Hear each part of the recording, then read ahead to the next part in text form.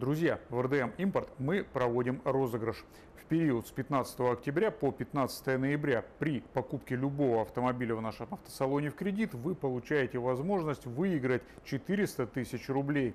Подробнее об условиях акции смотрите по ссылке.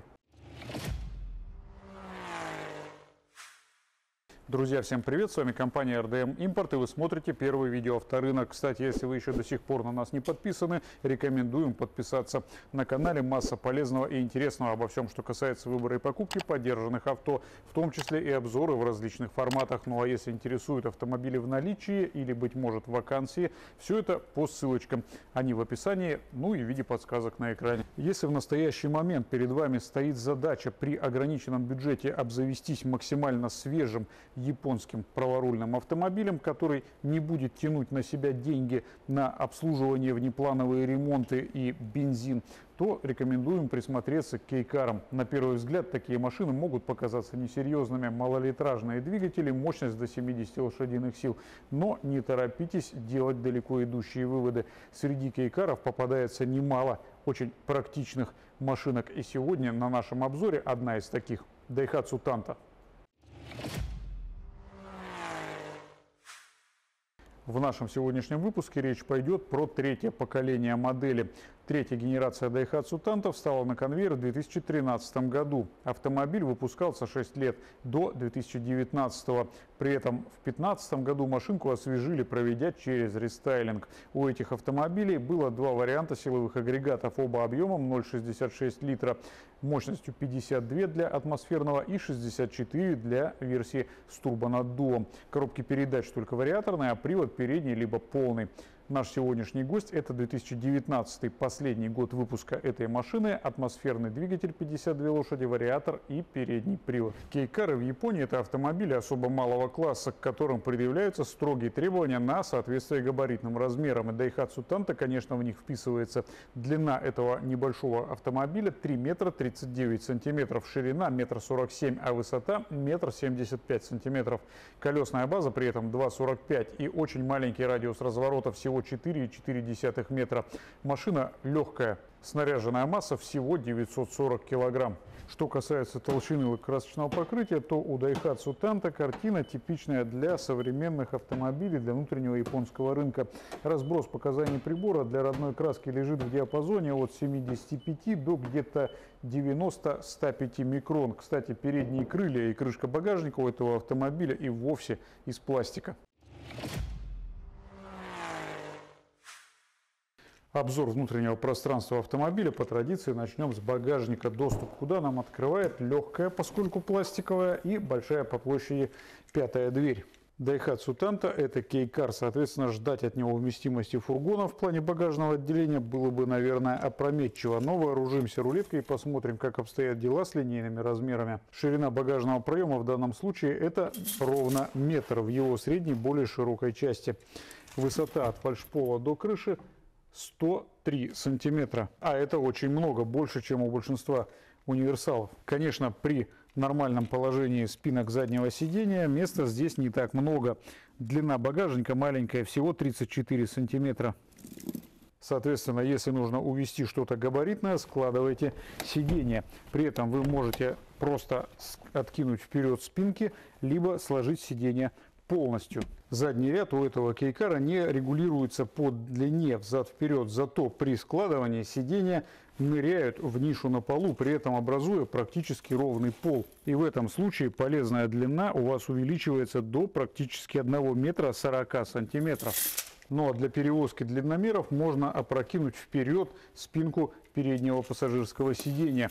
И в этом случае полезная длина салона у вас возрастет где-то до отметки 2 метра 18 сантиметров, плюс варианты размещения длинного груза наискосок. Так что с точки зрения практичности этот высокий и очень объемный внутри автомобиль довольно интересное предложение.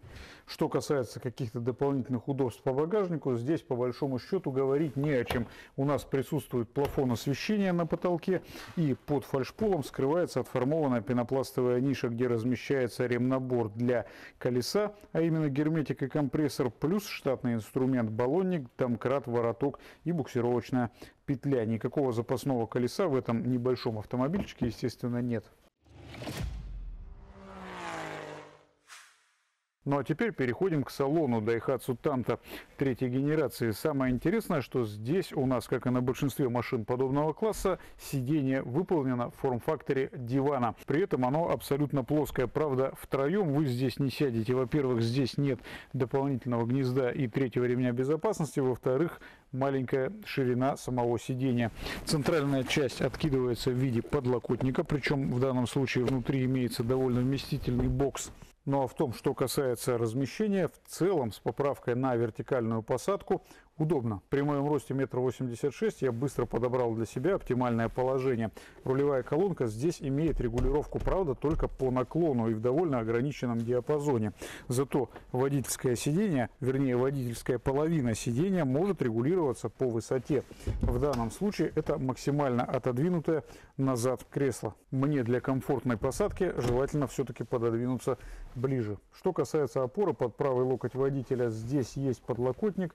Он довольно-таки небольшой по длине но локоть на него ложится, и это удобно. Ровно под рукой у вас находится блок управления стеклами с клавишами непривычно узкими, причем водительский стеклоподъемник здесь с авторежимом. Боковые зеркала имеют функцию складывания и электрические регулировки. Справа от руля у нас располагается кнопка запуска остановки двигателя, в данном случае у нас бесключевой доступ, и дополнительный блок клавиш вспомогательных систем. У этого компактного автомобиля присутствует система предотвращения столкновений, автоматически автоматическое переключение светофар ближний дальний. Здесь обе боковые двери снабжены электроприводом. Плюс присутствует подогрев водительской части сидения. Руль здесь самый обычный пластиковый, но при этом не скользкий. Подрулевые переключатели включаются без каких-то дешевых пластмассовых щелчков, но вот рычаг поворотников здесь не фиксируемый, как, например, на автомобилях Opel и к пользованию подобным придется привыкать. На рулевом колесе у нас есть кнопка включения-выключения спортивного режима работы коробки и клавиши регулировки громкости плюс переключения треков и режимов магнитолы. Сама мультимедийная система здесь имеет огромную диагональ дисплея. Туда выводится картинка с камеры заднего вида. Слева от селектора коробки передач, который имеет привычную форму с кнопкой блокировки, располагается маленькая панелька управления климат-контролем. Здесь есть небольшой дисплей, скорость вентилятора регулируется при помощи кнопки. Кнопки большие, тактильно различимые, имеют индикацию. Температура регулируется удобной поворотной рукояткой, есть авторежим и, само собой, кондиционер. Слева над бардачком присутствует HDMI и USB разъем для мультимедиа, ну а внизу 12-вольтовая розетка. Прикуривателя здесь уже нет. Что касается бардачков, подстаканников и прочих ниш для хранения, то перед водителем присутствует довольно вместительный вспомогательный бардачок, куда можно разместить на самом деле что-то довольно-таки габаритное. Справа и слева на приборной панели присутствуют удобные подстаканники есть маленькая полочка над основным бардачком, ну и перчаточный ящик. Здесь он не сказать, что огромный, но документы формата А4, сложенные вдвое, сюда поместятся. Есть также полочка, на которую можно положить смартфон с не очень большой диагональю. Ну и перед комбинацией приборов довольно-таки обширная плоскость на панели, куда также можно что-нибудь складывать. Кстати, о самой комбинации. Здесь она непривычно огромного размера. Приборы прекрасно считываются не только самим водителем и, например, задними пассажирами, но и с соседнего автомобиля. Причем комбинация приборов практически полная, не хватает только стрелочного указателя температуры двигателя. Пользоваться ей удобно и рулевое колесо не перекроет вам приборную доску ни при каком своем положении. Из непривычного в этом автомобиле высоченный потолок. Даже зеркало заднего вида расположено столь высоко, что для его регулировки приходится тянуться, как, собственно, и к противосолнечным козырькам. Лобовое стекло установлено здесь под углом практически в 90 градусов. Присутствуют дополнительные форточки, которые полностью убирают слепые зоны при повороте.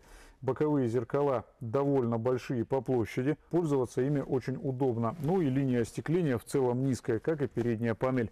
Единственное, но капот невидимка. Его ни при каком положении кресла видеть вы не будете, но сам капот очень небольшой по длине, поэтому проблем с ощущением габаритов здесь точно не будет.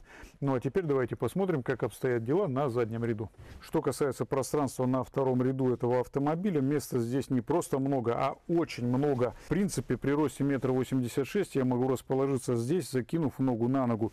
Естественно, задний диван здесь тоже абсолютно плоский. Кстати, отделка его комбинирована из двух видов ткани. Одна половина его напоминает велюр, но вторая более грубая по отделке. Ширина здесь достаточно для размещения двух взрослых людей. Запас пространства над головой по-прежнему исполинский. Ну а из удобств и разного рода интересных фишек можно отметить шторки, доступные для задних пассажиров, сдвоенные кармашки на переднем сидении, крючок для пакетов максимальной грузоподъемностью 3 килограмма, а также возможность передвигать кресло переднего пассажира, не выходя с заднего ряда автомобиля. Плюс к услугам задних пассажиров два очень узких маленьких подстаканника на боковых панелях. Можно ли отправляться на этом автомобиле на заднем сидении в дальнюю дорогу? Пожалуй, что да. Тем более, что у задних пассажиров еще и присутствует возможность откинуть спинку сиденья до упора назад, тем самым подняв комфорт собственного размещения здесь на новый уровень. Под капотом этого автомобиля может располагаться по сути один единственный вариант мотора в исполнении атмосферном и турбированном. Это КФВЕ. Двигатель крайне распространенный, он очень хорошо растиражирован, ставился он на огромное количество автомобилей марки Daihatsu. И, кстати, не только на них. Соответственно, проблем с поиском контрактных агрегатов возникнуть, по идее, не должно. По конфигурации это три цилиндра в ряд с алюминиевым блоком и цепным приводом газораспределительного механизма. Никаких дополнительных сложных систем здесь нет. В атмосферном варианте 52 лошадиные силы, в варианте с наддувом 64. Какой бы вариант вы ни выбрали, это будет экономичный автомобиль. Расход топлива на этих машинках в городском цикле будет в районе 4 5 литров на 100 километров пробега. В плане ресурса та же цепь ГРМ на КФВЕ способна отработать 200 тысяч плюс, а это на самом деле очень немало. Дополнительной приятностью при эксплуатации такой машины будет маленький объем заливаемого сюда масла. Для замены вам потребуется всего около 3 литров. Ресурс самого двигателя это также около 250 Плюс соседствующий с этой силовой установкой вариатор также по большому счету не преподносит сюрпризов. И на автомобилях с пробегами до 200-250 тысяч коробки живут абсолютно спокойно. Благо данные моторы просто не в состоянии обеспечить трансмиссии настолько серьезный крутящий момент, чтобы это в итоге привело к ее выходу из строя. Ну а перед тем, как посмотреть на Daihatsu Tanto снизу на подъемнике, давайте поговорим про дорожный просвет. Каталожное значение этого параметра для данного кейкара 145 мм. Вооружимся рулеткой, проверим, соответствует ли это действительности. На самом деле самая низкая точка автомобиля это резиновый фартук-брызговичок, расположенный под передним бампером и расстояние до него от асфальта как раз 145 мм. Но сам край переднего бампера находится выше, до него порядка 18,5 см, что в купе с отсутствующим передним свесом дает вам неплохую геометрическую проходимость в плане преодоления кочек. Расстояние от асфальта до порога 17 см за передним колесом. Задняя часть выше 19 сантиметров, а расстояние до нижнего края заднего бампера и вовсе 28. Задний свес тоже практически отсутствует, поэтому у этого автомобиля крайне неплохая геометрическая проходимость, что даже слегка удивляет. Что касается ходовой части, то в данном случае ходовка типична для компактных автомобилей. Она очень простая. Передняя подвеска типа Макферсон шаровые опоры в данном случае у нас выполнены неразъемными. С передними рычагами меняются в сборе. Стабилизатор поперечной устойчивости установлен на подрамнике, но при этом доступ к нему для замены втулок стабилизатора в целом неплох. Рулевая рейка, само собой, здесь электрическая. А что касается антикоррозийной обработки, то у этого автомобиля, как это ни странно, есть некоторое количество антикоров, в том числе и на лонжеронах. Но по большому счету картина типичная для японских автомобилей. Только шовный герметик, особенно это касается центральной части кузова. В задней части автомобиля мы видим топливный бак. Его объем здесь небольшой, 30 литров. Сам бак тут металлический. При этом никакой дополнительной защиты он не имеет. И заливная горловина тоже металлическая, соответственно, на машине с большим пробегом. Если вы будете смотреть подобный вариант, обратите внимание на отсутствие коррозии на этих компонентах. Задняя подвеска на этих автомобилях при переднем приводе это самая обычная балка, по сути дела. Пружина и амортизатор разнесены отдельно, ну а задние тормоза в данном случае, конечно, барабанные. Но если это будет полноприводный автомобиль, то сзади вы увидите мост. А вот чего вы сзади не увидите, так это большого количества антикоррозийной обработки. Здесь ее по-прежнему нет. Сугубо герметик на соединительных швах. Таким мы увидели сегодня Кейкар Daihatsu Tanto 2019 года выпуска. Если у вас был или есть подобный компактный автомобиль, на котором вы накатали не одну сотню тысяч километров, и вам есть в чем нас дополнить и в чем поправить, укажите все это в комментариях. Ведь людям, которые думают о покупке подобного автомобиля, ваш комментарий может помочь сделать окончательный выбор. Ну а если вас заинтересовал конкретный экземпляр, который был сегодня на нашем подъемнике, есть приличный шанс, что к моменту выхода видео в свет машина все еще будет находиться в продаже. У нас компании RDM Import в городе Новосибирске. Всю интересующую вас дополнительную информацию по этому конкретному автомобилю уточняйте по телефону, который указан в описании под видеороликом. На нем же есть WhatsApp, так что пишите, звоните и задавайте вопросы. Спасибо за просмотр и хорошего дня. Пока.